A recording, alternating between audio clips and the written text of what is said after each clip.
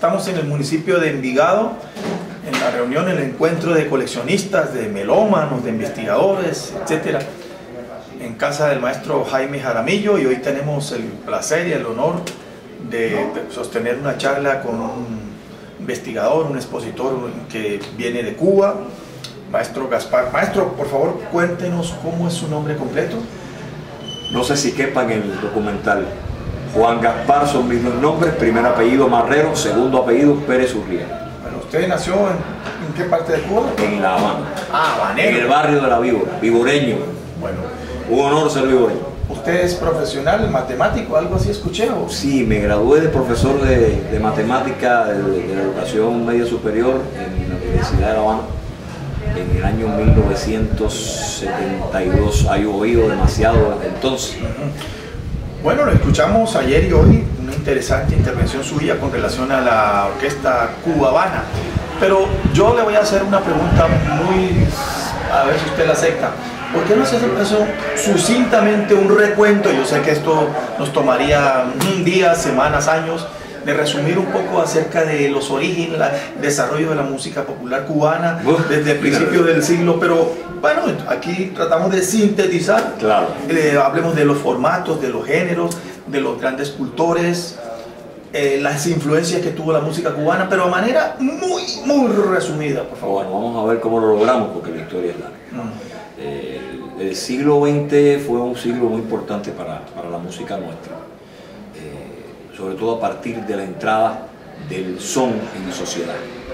El son ya se conocía desde el siglo anterior, hay quien dice que nació en Oriente y que fue llevado a La Habana, yo pienso que fue un proceso simultáneo que se produjo, que se produjo en varias eh, ciudades, varias provincias del país al mismo tiempo. Y estaba proscrito, o sea, le- legalmente eh, no estaba permitido cantar son, por prejuicios religiosos, prejuicios raciales Eso pasó incluso, con eso muchas pasó músicas latinoamericanas ¿Cómo no? y nosotros también. ¿Cómo no? Pero en los años 20 ya la fuerza era demasiado grande, surge el sexteto habanero y ahí empieza la historia, la gran historia del son cubano, que prácticamente opacó un género que ya venía desde el siglo XIX, que era el danzón. El danzón venía desde 1800 y tanto, 1870 más o menos. Adquiere prácticamente carta de ciudadanía, llega al siglo XX, comienza a desarrollarse, pero llega un momento en que la fuerza del son, quizás por el hecho de haber sido prohibido, fue tan grande que ya en los años 20 era imposible, imposible pararlo. Eh, entonces, la atracción de los bailadores comienza a dirigirse hacia el son. Ahí hay un fenómeno social que no puedo dejar de mencionar. Nosotros tuvimos en el siglo XIX dos grandes guerras. La primera guerra de los 10 años del año 68 y la guerra de independencia que se llama del año 95. Como consecuencia de ambas guerras, la población cubana prácticamente se diezmó y cuando se llegó al, a la década de los años 1920, creo que el 60 o el 70% de la población tenía menos de 30 años. Lo que significa que todo ese espíritu juvenil no se dirigió al danzón, se dirigió al son. Y ahí fue el empuje. Surge el danzonete porque los músicos de las orquestas charangas, que eran las que tocaban el danzón, se vieron relegados por el son. Y crea Aniceto Díaz, Sí. flautista matancero, el danzonete mezclando elementos del danzón con el del son, que tenía como característica que se podía cantar. Había coros. Un danzonete era algo, algo así como un poco más alegre. Danzonete. Sí, exacto, exacto. Ese es el primer danzonete. Ese es el primer danzonete, rompiendo la rutina. Más alegre, ¿no? Y sí, porque llevaba, llevaba, llevaba incluido el son. Ok. O sea, la primera parte era todo danzón. Y hay una segunda parte que ya entra el son, hay, hay un texto que describe el, el tema e inmediatamente eh, la mm, coro y, y- y estribillo como hacemos, como hacemos nosotros.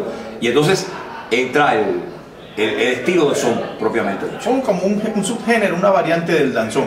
Maestro, pero perdóneme un segundito. Yo escuché una musicóloga, usted debe conocerla, María Teresa Linares, Linares. sí. Ella hablaba del changüí, de bueno, Sí. otros, otros géneros, estilos que eran primigenios.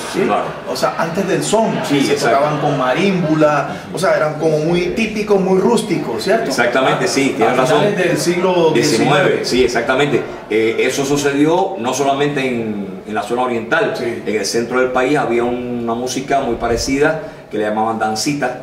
Y en la isla de Pinos, que ahora es la isla de la juventud, el. Sucusucu. Todo esto, por supuesto, con matices muy diferentes de una región a Ah. otra, fue dando origen a una música para bailar que después se uniría en lo que sería el son. En el caso de Guantánamo, por ejemplo, estaba el changüí, Sí. que parte del, que, es otra modalidad que se incluye junto con el nengón y el kiribá, Sí, que sonaban en esa zona. Y en Santiago de Cuba, en la zona de Santiago de Cuba, el llamado son Maracaibo. Por ejemplo, el Maracaibo oriental que cantaba Benny Moré no que está dedicado bailes, mi son Maracaibo, pa' que lo goces. no está dedicado a la ciudad de Maracaibo, De sino a un estilo de Ah, son que se- ok. si lo escuchas Sí. y escuchas el bajo, te das cuenta que lo que está marcando es el son Maracaibo, al estilo de las agrupaciones originales de finales del siglo XIX. Maestro, a ver, eh, la palabra son, tengo entendido, corrígeme, a ver, es una apócope de sonoridad, porque en inglés song es canción, eso viene de sonido, ¿cierto? Y es un término que se acuñó para referirse a algo genérico, una sonoridad, ¿cierto? Son. Sí, el problema es que surge una manera de identificar eh, que sea breve y que al mismo tiempo eh, reflejara eh, la reacción del, del bailador al compás de la música, al son de la música. Entonces se, se- se aprovecha esa, es- esa expresión popular y se identifica al género con él. Aquí hay que tener un, un, importante. Generalmente se dice que el sexteto habanero lo único que tocaba eran soles. Eso es, eso es erróneo. Yo tuve la oportunidad de escuchar con toda calma las 99 primeras grabaciones del sexteto habanero de los años 20. Y entonces usted se encuentra que a los efectos de la nomenclatura que se le puso después, Sí. ahí hay boleros, Ah, sí. hay boleros soñados, Sí. hay boleros son, Sí. hay rumba, Ujú. hay guaguancó y hay conga. Ah, ok. Pero el problema es que los disqueros lo que querían era vender, Mm. sobre todo vender en el mercado exterior. Era muy complicado decirle a la gente esto es un son Ah, y esto es una guaracha, no si es una guaracha y no es son, no me gusta. Entonces, a todo le ponían son. Eso pasó después con la salsa, pasó exactamente igual. Pasó después en los años 30 con la rumba que se conoció en Europa y en Estados Unidos Sí, a partir de músicos como Javier Cubat, por un lado, y la invasión de músicos cubanos que llegaron a Francia y que llegaron a Europa, que invadieron Europa por los años 30. Ujú. Que entonces todo lo que tocaban se identificaba como rumba, Mm, que era el cliché. Eso La- España, ¿no? El término. No, no, no, de la, de, de- de la religión la- africana, ok, de la pero- música africana. Pero hay dos, dos, dos palabras, este, dos connotaciones. El término rumba, eh, del rumbo de las eh, mujeres alegres, ¿sí? que se refiere. Pero eh, otra cosa es el complejo de la rumba, donde se toca yambú, columbia, guaguancó, que es la música yoruba, de, de tambores. ¿sí? Esas son dos cosas diferentes. y Pero, hay una tercera. pero en Nueva York hubo un estilo de los años 30 que fue tunchi, tum, tum, oye, me cachiti, tum, tum, tum. Eso fue una rumba, ¿no? Ese, eso es, ese, ese es Cuba, ese es el estilo de Eh, Cuba. Cuba, sí. Cuba lo que hizo fue potabilizarle la música a los anglosajones. Ah, ok. porque tenía que quedar muy bien marcadito el ritmo para que la gente lo Mm. pudiera seguir. Y entonces a todo le llamaron rumba para que la gente no se perdiera. ¿Comercial? Sí, comercial, exactamente. Y entonces, ¿qué pasa? Para nosotros, para los cubanos, hay una frase que identifica la rumba.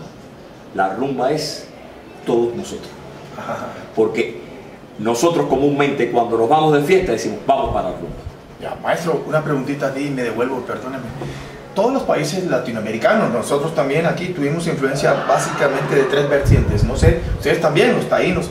La cultura aborigen, que llamamos indígena, la llegada, bueno, los españoles que trajeron africanos, etcétera.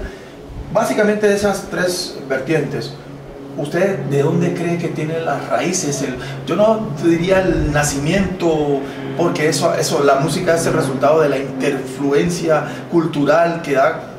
Sí, eso. Pero algunos dicen que esa música cubana también tiene raíces, influencias haitianas, inclusive de, dominicanas. ¿Es cierto? Claro, por supuesto. Nosotros no estamos aislados en el Caribe. Nosotros estamos en medio del mar Caribe y nos rodean toda una serie de- de vecinos que por supuesto tienen que interinfluir. Aquí hay un detalle que yo considero interesante. Muchas veces se dice que la principal influencia en la música cubana viene de dos vertientes, de España y de África. Y obvian lo que pasó en Haití, lo que pasó en Santo Domingo, lo que pasó en el sur de los Estados Unidos, lo que pasó en la costa atlántica de Colombia, Sí. Venezuela, la América Central, todo eso influyó de alguna manera en el desarrollo de la música cubana, de una manera o de otra. ¿Qué pasa aquí? Hay quien, hay un profesor en, en Cuba que, que da este ejemplo. Hay quien piensa, bueno, pero ¿cómo se demuestra esto? Este, en esta pieza musical se ve más de, de España que de África o más de África que de España. Y eso es imposible calificarlo. Es como si usted tomara un café con leche. A veces usted toma el café con leche muy oscuro. Hay de España, pero un poco más de África. Mm. Y está al revés, hay quien lo prefiere un poquito más claro. Hay un poquito más de España y menos de África. Pero está todo ahí. Como decía eh, nuestro poeta nacional Nicolás Guillén, todo mezclado. Además, hay una definición de Fernando Ortiz que habla de que la música cubana es un crisol, o sea, un recipiente Sí. donde usted funde toda una serie de metales pero que ahí usted echa todos los ingredientes Mm. que quiere, Mm. pero es que esa fundición no termina nunca, está en constante ebullición. Esa es la definición de Fernando Ortiz sobre, lo que significa la música cubana. Muy bien, como estamos tratando de resumir, esto es- es- nos tomaría tiempo, hablemos ahora de los formatos. Eh, surgieron los duetos, tríos, cuartetos, quintetos. A principios de los años 20 lo que se imponía eran como los, bueno, el trío mata, bueno, tríos, eh, conjuntos, ¿sí? A ver, había canción lírica, que era la que se producía en los teatros, etcétera. Sí. Había trova, Sí, canción tradicional con un, sobre todo dúos de trovadores, Sí. por lo general eran dúos. eh, yo recuerdo, por ejemplo, la, la figura más representativa de aquella época fue María Teresa Vera. claro. La- sobre todo por el hecho de ser mujer y poder imponerse incluso a la- al prejuicio del machismo y decidirse a ser artista. claro. Y me hablas del trío Matamoros que surgió en Oriente en el año Sí. 20 25 Ujú. y entonces ya en el 28 comienza a conocerse internacionalmente por los discos. En cuanto a solistas, bueno, y a tabledero lírico, Ujú. está la obra de, de, de Lecuona, sobre todo, Sí, claro. Moisés Simón, todas estas grandes figuras que después enriquecieron el Teatro Nacional. Y desde el punto de vista de las agrupaciones bailables, bueno, ahí había las charangas, que durante mucho tiempo se le llamaron orquestas típicas. Sí, sí, sí. Eh, estaban Influencia francesa, ¿no? influencia Porque francesa, claro, violines violín y, flauta, flauta. violín y flauta, exactamente. Eh, los setetos de son que ya comienzan en los Sí, años 20 y dan origen a todo un movimiento que lleva en los años finales de los 30 y comienzos de los 40 a la era de los conjuntos. Pero paralelamente ya a finales de los años 20, por influencia del jazz norteamericano, Sí. comienzan a aparecer las grandes bandas en Cuba. Y una de las primeras en se popularizarse fue la orquesta de los hermanos Castro. A finales, posiblemente en 1929. Hay cortos que los, vi, que los vi precisamente en casa de Jaime Jaramillo. Eh, hay videos de esa época Sí. de la orquesta de hermanos Castro. formato jazz band. ¿no? Formato ya. Entonces, ya. o sea que podemos decir lo mismo nos ocurrió a nosotros. O sea que para entender la música latinoamericana del Caribe hay que remitirse a la, a la- influencia que tuvieron las bandas de Dixieland o- y las bandas de swing, Claro. ¿cierto? Claro. En el formato. Porque además, mira, pasa una cosa. En México, por ejemplo. En México las charangas casi nunca pudieron triunfar. Porque los mexicanos no aceptaban la flauta. Ah. Los mexicanos querían las trompetas. Ah, México tiene una eh, escuela de trompeta extraordinaria. Un ejemplo, los trompetistas que tocaron con Damaso Pérez Prado. Sí. Es, como decimos los cubanos, la tapa al pomo. Y por ahí, fíjate que Jorrín llega con su orquesta a tocar el chachachá Cha-cha. ya en los años 50 Sí. y llega, graba y tiene que regresar a Cuba a buscar los Ah. trompetistas y se los lleva y los incorpora a la orquesta y ahí fue donde la orquesta Jorrín pegó. Por la influencia, bueno, México está prácticamente al lado de los Estados Unidos, así que el jazz le llega muy de cerca. Entonces, esa predilección que, que- que tenían eh, los, mm, los melómanos mexicanos y los bailadores mexicanos por las trompetas hizo que, por ejemplo, cuando se toca danzón en México, no se toca con charanga como se toca en Cuba, se toca con danzonera.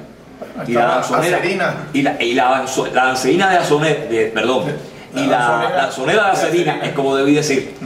eh, es un reflejo de la orquesta típica Ah. cubana del siglo XIX, Ah. pero con una característica muy sui generis. Cuando tocan la clave del, del danzón, no tocan el cinquillo. ah. Escucha las grabaciones y tocan así el danzón.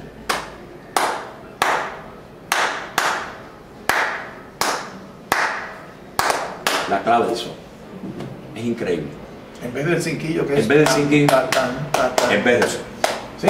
Escúchanos las grabaciones y te darás cuenta. sonero, y no solo a Serina, eh, Tomás Ponce Reyes, Mariano Mercerón Ah, después, Mercerón.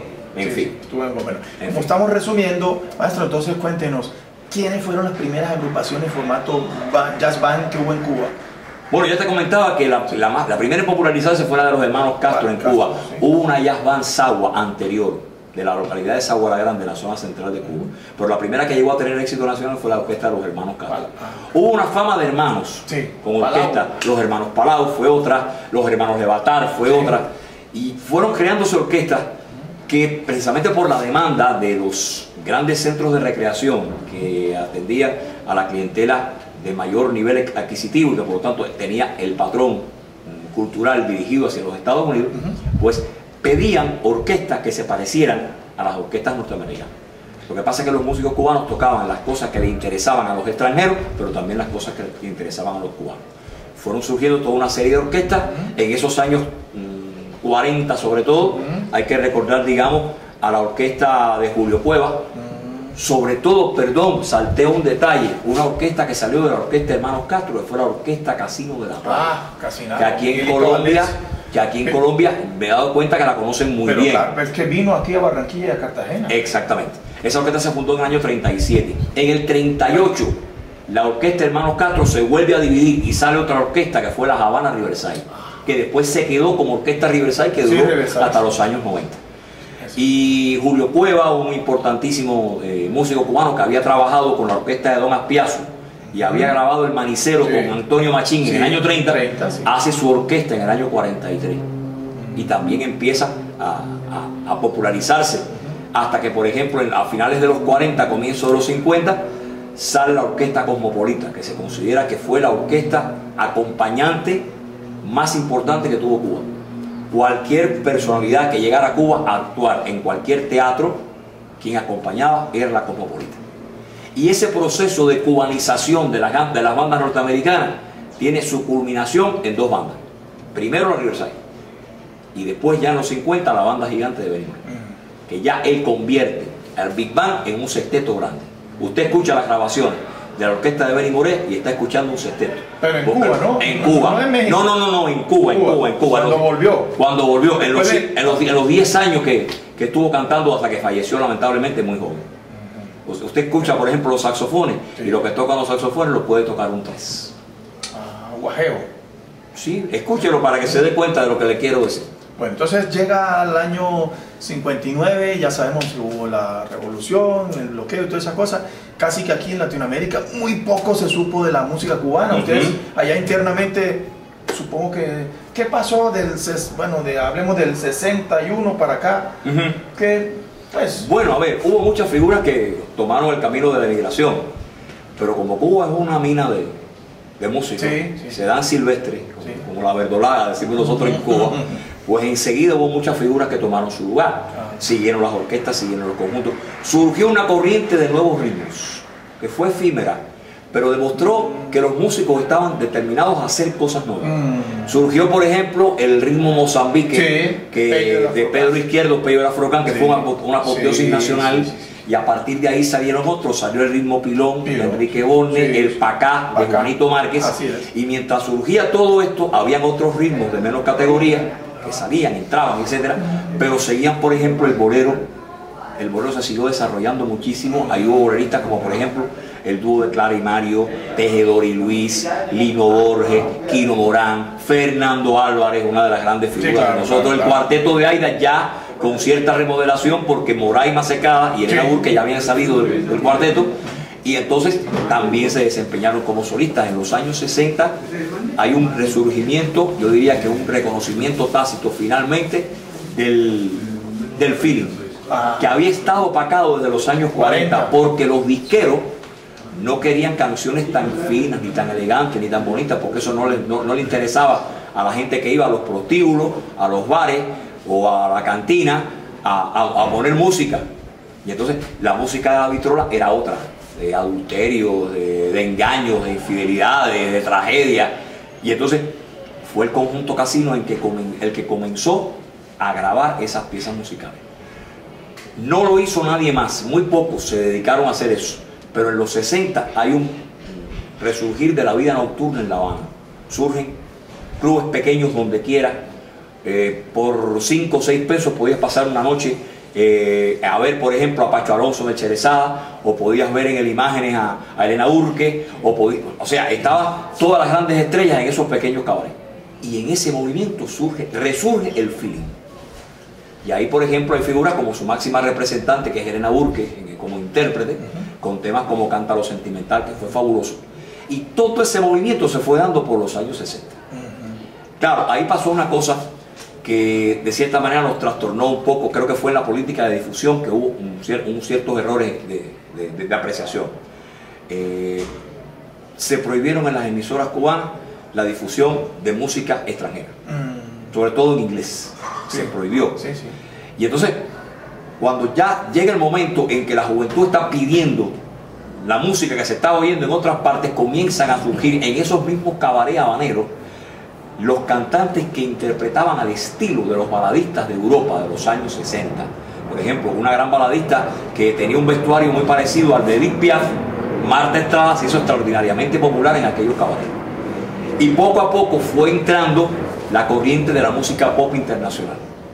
Que sucedió que cuando ese, ah. cuando ese torrente entró como un, como un, un dique que se traya, pues la inundación fue tan grande que prácticamente a eh, finales de los 60, comienzos de los 70, se produce prácticamente una... Mm, se opaca, hay un boom de esa música y se empieza a opacar la música bailable cubana. Y ahí surge un fenómeno que prácticamente revolucionaría la música cubana para, para, para bien para etapas posteriores, que fue el surgimiento primero del changui Shake ah. o changui 68 y después del songo por Juan Formel. Primero con la orquesta Revés y después con los Helio Revés. exactamente. Y después cuando él decide el 4 de diciembre del, 69 hacer su orquesta Los Bambán. Bueno, aquí nos podría tomar mucho tiempo, pero vamos a hacer una preguntita con relación a lo que está pasando eh, esta semana aquí en la ciudad de Medellín. Maestro, resulta que usted, como usted sabe, aquí hay coleccionistas en Colombia bueno, adoramos, yo soy músico, pero también me gusta la música cubana y colombiana, etc. Se lo agradecemos mucho. Muy bien pareces, yo ahorita hablaba con dos, em, no sé cómo llamarle, salvaguardianes de la música eh, antillana del Caribe, cubana, etc. Bueno, ustedes saben que en Colombia ah, nos gusta mucho la música de Cuba y, y aquí hay muchos melómanos, conservamos eso, pero resulta que aquí adoramos, entre comillas, la famosa Sonora Matancera. Usted vino aquí a darnos una charla y nos dijo, oiga, pero ustedes adoran la Sonora Matancera, pero también no crean que es lo único que, hubo en Cuba en los años 50. Claro. Resúmanos, por favor. Usted nos habló de la Cubabana, una orquesta conjunto cubana. Entonces, uno conoce la sonora como una, un formato instrumental que tenía dos trompetas, primera y segunda, ¿no? Algo así como quien ve un mariachi que tiene primera y segunda trompeta. Pero bueno, es que la sonora tuvo un repertorio y aquí nos hizo, o sea, hubo un impacto de la música cubana. O sea, el referente que tiene el colombiano, claro, no todo el mundo conoce la cubana, o yo. Claro, por supuesto. Pero, entonces, lo que más nos llegó aquí fue la influencia de bueno de Lino, de toda esa música sí, de la que, claro, porque toda esa guaracha que anteriormente nos llamábamos salsa, eh, pues ellos también tocaban eh, guaguancó y todos esos números, boleros, ¿sí? Entonces, bueno, ¿A qué atribuye usted, considera, por qué ese impacto de la Sonora Matancera? Yo no, creo que va a ser aquí en Colombia, en Venezuela, en otros países de, acá del Caribe, de, tal vez fue por el número de grabaciones o porque ellos invitaron a otros cantantes de Latinoamérica. Aquí todos vimos a Nelson Pinedo, ¿no? Sí, y eh, que también, o sea que como quien dice, nosotros también decimos, ah, pues que si está un compatriota, ahí también la sonora es de nosotros. Claro, claro, claro, Entonces, ¿a qué, a, qué, obedece eso? Mira, yo considero que ahí precisamente los cambios sociales que se producen en Cuba tienen un efecto importante. Eh, cuando triunfa la revolución, la Sonora Matancera estaba inserta en un panorama donde había muchas charangas, muchos conjuntos y muchas bandas que estaban en su apogeo. Era difícil que te encontraras un baile en Cuba donde no hubiera eh, tres orquestas, por lo menos. Entonces, por ejemplo, en cuanto a las charangas, estaba Fajardo, estaba Aragón, estaba Neno González, estaba Sublime, estaba Sensación con Abelardo Barroso, En, cuanto a los conjuntos, estaba el Casino, estaba el Saratoga, estaba Chapotín, estaba Roberto Faz, estaba después en los 60 entró Estrellas de Chocolate, en fin, los jóvenes del Cayo también, toda, esa, toda esa playa. Y entre las Big bueno, estaba la Riverside, estaba la Hermanos Castro, todavía quedaban rastros de la Cosmopolita, está, entraba la orquesta de Ernesto Duarte, entraba la orquesta del maestro Bebo Valdés. Y había figuras como Benny Morero, Orlando La Serie, Orlando Vallejo, Orlando Contreras. Era un panorama riquísimo. Porque además toda esa gente estaba en todos los cabarets del país, desde los más encumbrados hasta los de quinta o sexta categoría. Había un cabaret en, La Habana, en, las afueras de, la ciudad de La Habana, el cabaret Alibar, que ahora se conoce como el Rincón del Bey, y ahí se podía ver a Benny Moré. A Benny Moré, y ahí estuvo Benny Moré, estuvo Vallejo, estuvo Faz, estuvo Fernando Álvaro, estuvo Ñico Membiera, toda esa gente junta.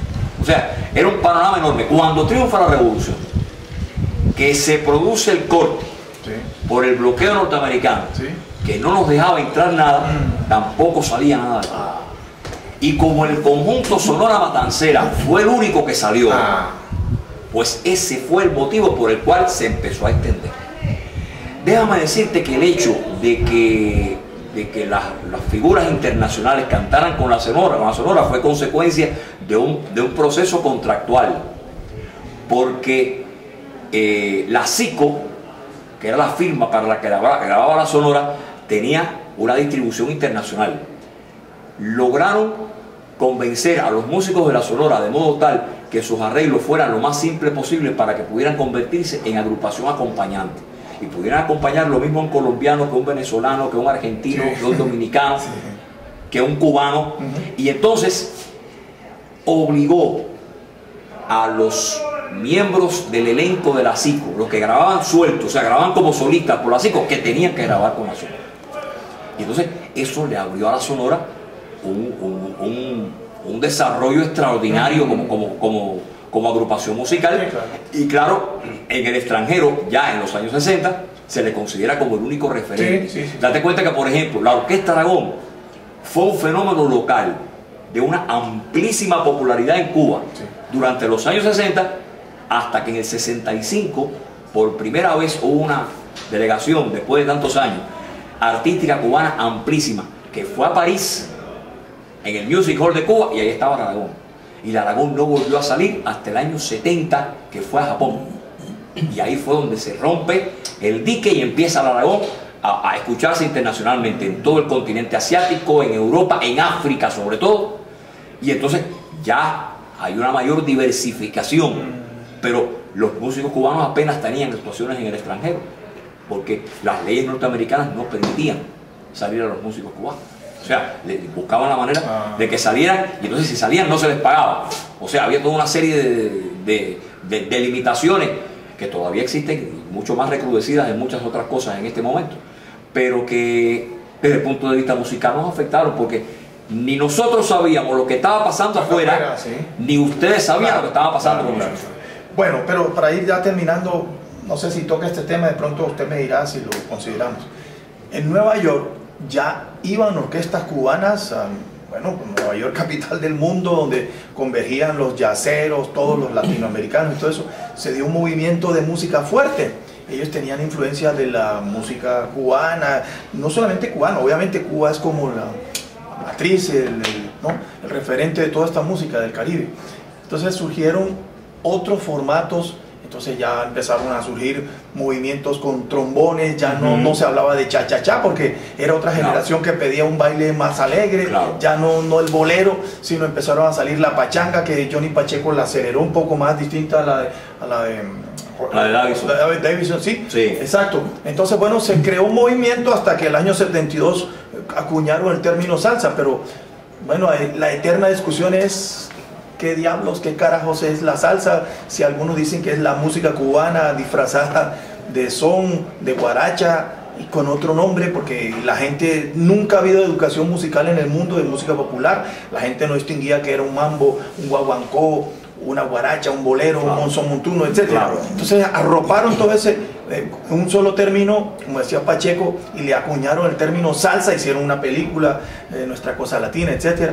Entonces, aquí la pregunta es, para ustedes los cubanos, ¿esa discusión en qué quedó? O sea, ¿qué, qué salsa? Yo creo, que qué los cubanos, yo creo que los cubanos fuimos, fuimos poco inteligentes, en realidad.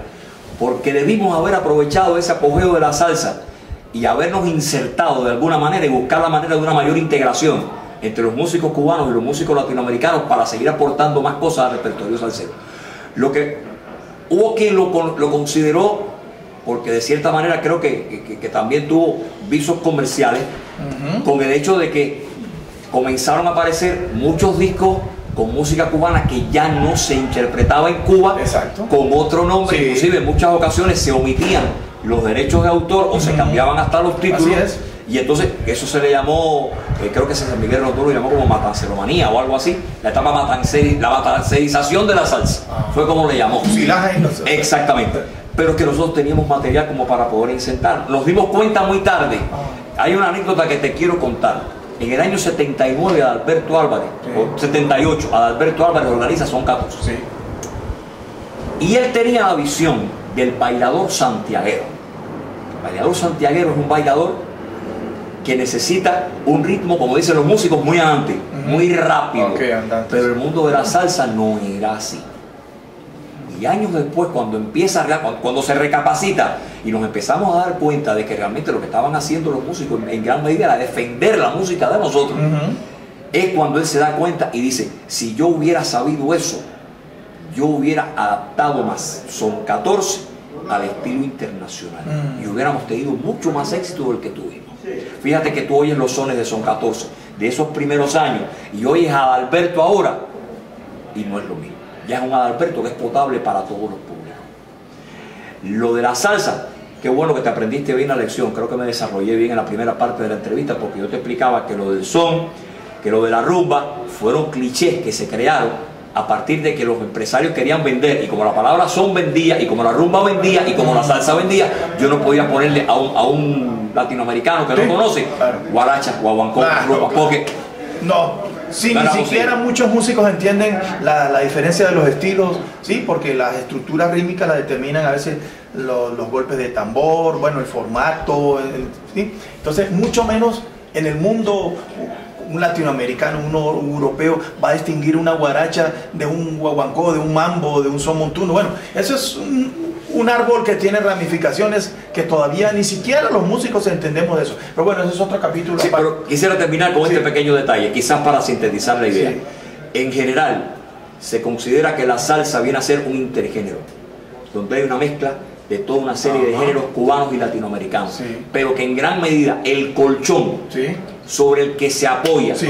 toda esa interrelación es en un buen por ciento Sí. música cubana. Sí, pero también ha habido aportes en Nueva York, Desde la luego, armonía, porque luego. ya se influenció mucho, eh, Palmieri y todo eso. La parte melódica, bueno, los trombones también cogió otro color, otro, sí, los claro. formatos cambiaron. Claro. Todavía hay big bands, eh, pero ya más de jazz latino. Exacto. Porque la salsa fue más para el bailador. El término salsa en Nueva York fue más para, para el mambero, para el pachanguero.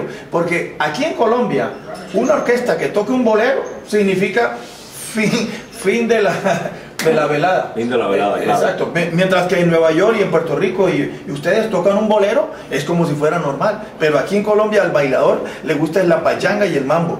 O sea, pero ya la salsa se ha estandarizado. Hablo de salsa de estos tiempos de los tal vez 90 para acá, que se volvió estandarizado, o sea, lo que llamamos guaracha, ¿sí? Pero anteriormente habíamos otros estilos. Ya nadie toca que una plena, que un jala jala pues, de Puerto Rico y esas cosas. Y usted, usted en Mozambique, ni mucho menos guaguancó, porque esa era música para músicos. Pero como se trata de vender, lo que más consume el, el bailador, pues es, es- es la guaracha disfrazada de salsa. Claro. ¿Sí? Entonces, bueno, maestro, pues nada, yo quiero agradecerle, no sé, yo creo que en nombre de todos nosotros, usted nos ha venido a dar una charla muy importante acerca de la música. Esto nos tomaría mucho tiempo, pero no Sí, quiero abusar claro. porque ya nos vamos. Mm, ojalá que vuelva. Sería un gran placer. Bueno, aquí también hay muchos coleccionistas. Yo la primera vez que llego acá, yo soy el músico, investigador. Pero, hombre, ojalá que usted vuelva y nos siga aportando a todo esto. Porque finalmente, pues lo que hablamos, Cuba y Colombia, musicalmente y culturalmente hemos sido una sola bandera. Ya de, por ejemplo, en- Bolívar, en Cartagena, en el Caribe colombiano, eh, había más relación de Cu- de- del Caribe co- con Cuba que con Bogotá. ¿sí? Claro. Entonces, por, por eso, entonces, una relación. Igual también hay influencias de aquí para allá y está el libro de José Portacio que la, Cuba, la música ¿qué? cubana en... La música colombiana en Cuba, Cuba, Cuba y la y- música cubana en Colombia. Entonces, bueno, somos como países hermanos y no Yo sé. quiero, yo quiero despedirme nada más, si me permite, Sí. con una pequeña reflexión que yo cada vez que tengo la oportunidad la digo. Yo quiero dar las gracias a Colombia, a nombre de los músicos cubanos, porque ustedes tienen un corazón enorme en el centro del pecho. Yo he apreciado que ustedes en ese grandísimo corazón no solamente conservan la música de Colombia y la música latinoamericana, Sí, sí. sino que se han convertido en los salvaguardas es. de la música popular cubana. Y eso nosotros no lo olvidaremos jamás. Bueno, maestro, mil gracias. Muchísimas gracias. Personaje de esto, tenerlo aquí uno no.